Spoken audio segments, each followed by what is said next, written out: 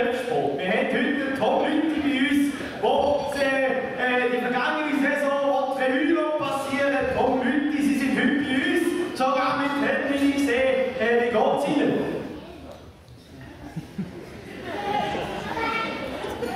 Ja gut, mit Heilung ist vielleicht ein bisschen übertrieben. In der Luzern äh, bin ich äh, im Gym äh, mit meinen Kollegen und dann habe ich... Äh, Didier Güsch gesehen, Ski und habe den Helm geklaut. Ja.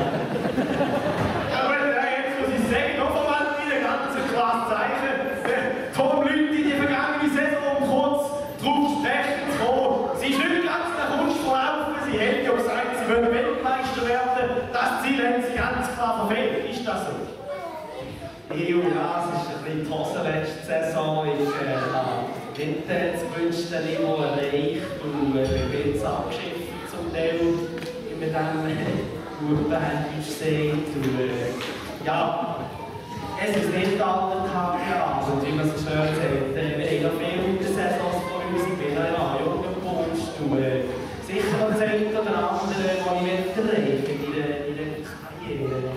Ja, Sie sagen jetzt, Sie sprechen die nächste Saison an, ganz klar. Was sind die Ziele der nächsten Saison? Ja gut, ich bin halt der Racer, oder?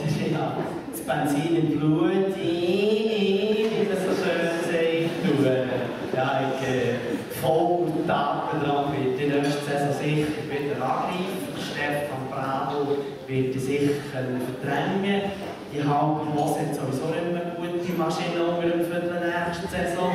Ich schon. Und von dem her bin ich absolut optimistisch. Ja, optimistisch müssen Sie ja sein, so Leute. Sie wollen angreifen, ist ganz klar. Die Schweiz erwartet etwas von Ihnen. Und zu dem Thema, zum Thema Motivation, haben wir einen kleinen Beitrag vorbereitet. Tom Leute, äh, bitte